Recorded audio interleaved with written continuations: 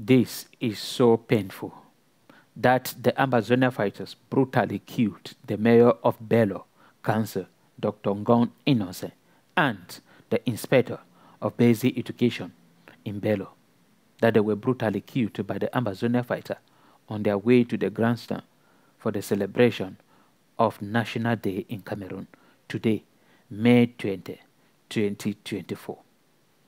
It is terrible that Southern Cameroonians are going into their early grave in the hands of their own brothers and sisters.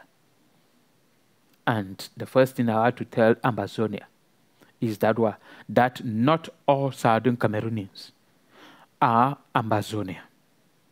Have this in your brain.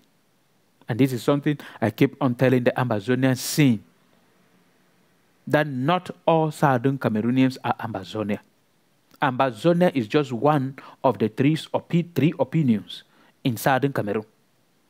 Ambazonia, they stood for separation, that they want to separate and form their own country. And that their own country will be the territory of southern Cameroon. There are people for federation, that they want Cameroon to return to the federal system as it was in 1961, in which Amadou Ahidjo dissolved it today, May 20, 1972. There are people who want that Cameroon, eh, eh, Cameroon should be one as it was during the Germans in 1884, right up to 1914 or 1916. That, that is, there are people like that in southern Cameroon. So if you come out just as one part of the population and decided to impose your own opinion, which is separation on the people because you are holding guns, know that when people are pushed to the wall, they can do anything. I'm asking another question. If those for Federation decide today that they are going to carry guns to fight the government and also to fight Ambazonia who want to separate, how will Southern Cameroon look like? If those for one Cameroon decide today that they, will, they are going to take guns because they can have that guns and that they want to fight, how will Southern Cameroon look like today? This is the question you have to I told Ambazonia that in 2017 people came in and nearly all Southern Cameroonians supported because they thought you people were coming to fight the military who were oppressing and repressing the people of Southern Cameroon. And in 2018, many people discovered that this is another group coming in with a different agenda. And then many people withdraw from it. And I told Amazon if that time in 2018 where people started withdrawing from, because they discover who you people are, that you people are for separation, in which they are for federation, or some are for uh, uh, one Cameroon. The only thing you people could have done was to convince these people that this is the main reason. Convince them by talking to them, not intimidating them. Because when you intimidate somebody, the person will respect you out of fear and when the person will see an opportunity to revenge, the person will revenge. Many Southern Cameroonians have been living in, in fear. They are just obeying Ambazonia because if they don't do it, their property will be burned down or they will be killed. If sincerely you put ballot box today in Southern Cameroon that those who are for Ambazonia should put in, those who are for Federation should put, those who are for one Cameroon should put, not many people. Those, as you are going, that people are obeying you, not many people would stand for Ambazonia because of the atrocity and the intimidation you have put upon the people, instill in the people. This is not how they fight. I look at how Russia is fighting. They went to Ukraine. They say Ukraine is part of Russia, um, uh, Russia, and then they believe that everybody in Ukraine they are they are citizens, and that is why they capture many military from Ukraine took them to Russia, and, and it, it, it, with time, they changed them, they exchanged them, and sent them back to their country.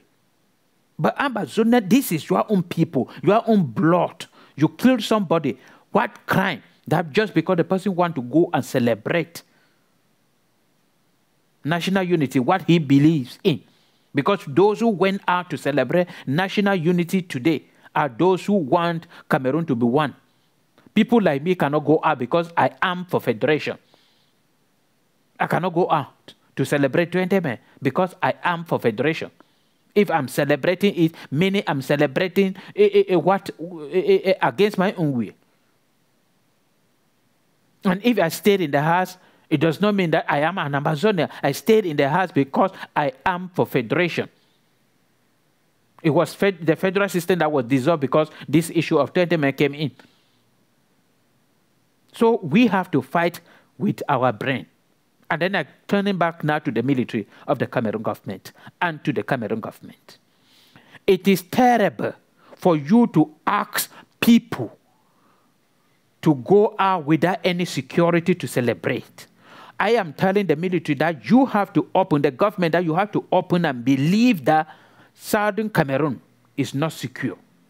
The killing is still going on. The military are still killing. The Ambazonians are still killing. Civilians have been trapped and entangled.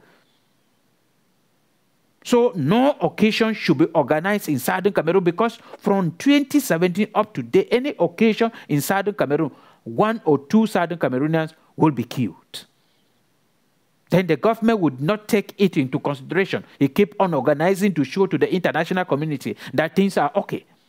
And Southern Cameroonians are going into their early graves every blessed day because of the stupidity of the government of Cameroon under the leadership of President Paul Biya.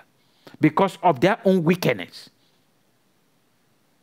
You took power for 41 years today, get to 42 years, and your only mission is to assimilate a small group of people, the people of Southern Cameroon, and you openly, without any shame, say it on an international TV in Paris. And the whole world heard that your mission for 41 years in power have been to assimilate these people. And that is the main reason why there is no development in Cameroon, because you have been using the taxpayer money to assimilate a particular group of people in your own country, your own people.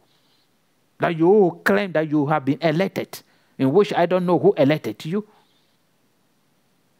People keep on telling, oh, everybody, telling you that this crisis cannot end militarily.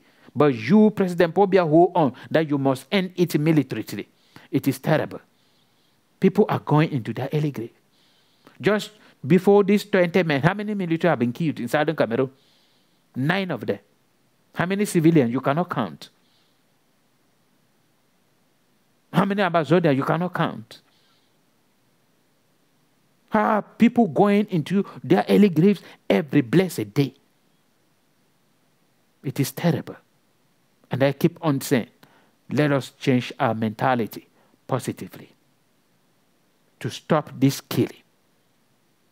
Look at these young, vibrant Southern Cameroonians. They have gone, leaving their wives, leaving their children, leaving their parents, leaving their relatives. It's painful. Very, very.